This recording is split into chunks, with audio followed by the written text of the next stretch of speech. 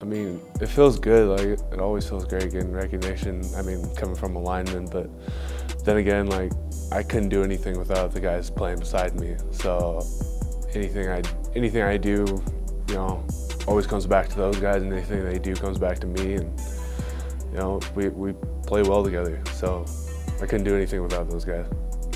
We we were grinding all all off season and going into the fall camp, you know, we, we put a lot of work in, put a lot of emphasis in to our run blocking and all that, and you know, I feel like we got our job done. And I got to thank the fans. You know, it really comes down you guys supporting us off the field, on the field. You know, you guys show up to every game, you guys stay, and you, know, you guys are loud, and you guys are all hyped up, and it gets us hyped up, and you know, I got to just say, go Cougs.